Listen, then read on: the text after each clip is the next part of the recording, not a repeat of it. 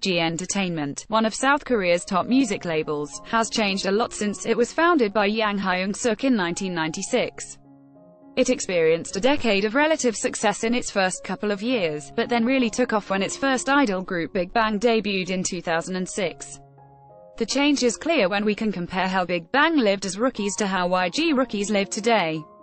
Back then, the K-pop kings' housing and lifestyle were quite modest.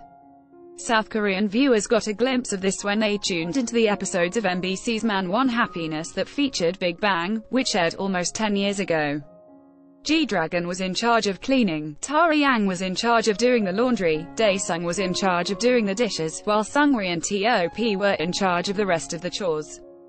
Ad choice choices advertising in red invented by Teeds each member had a role they were responsible for around the house. They had a tiny, crowded living room where the members would hang out together and do everything from goofing off to watching TV. All of the five members slept in the same room and would have to tolerate each other's sleeping habits.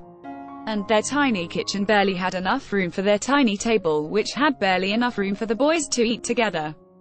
Not to mention, their company building was a rundown studio that was deteriorating with age. The walls are covered with doodle marks left by fans, and the building owner didn't even bother investing money to clean it up. Even today, the entrance of YG's old building is covered with fan scribble on the walls, with messages like, Big Bang we love you, and, Jiyoung forever. Thanks to the success of Big Bang, YG Entertainment was able to break into the global mainstream market.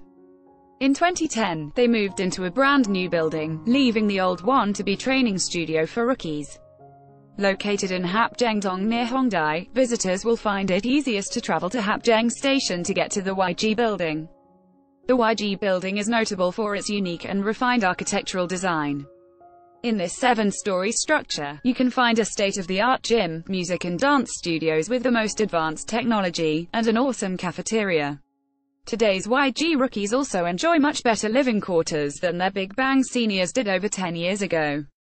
The new living room is so much bigger, it could probably fit four of BIGBANG's old living room and a half space to spare. Rookies might have to share a room with another person, but they won't be packed together like the Big Bang members. And their big kitchen has a big table that is more than enough to feed all of the members together, but YG Entertainment isn't done upgrading and expanding. They are currently building an expansion to their current headquarters. They are also busy constructing a K-pop cluster outside of Seoul which will feature a pop music concert stadium, five small-sized concert halls, and an exhibit hall where visitors can see and experience exhibits about Korean and Asian pop music. YG reportedly plans to operate the cluster as its multi-Asia. Your browser does not support video. 10 of the sexiest female idols in all of K-pop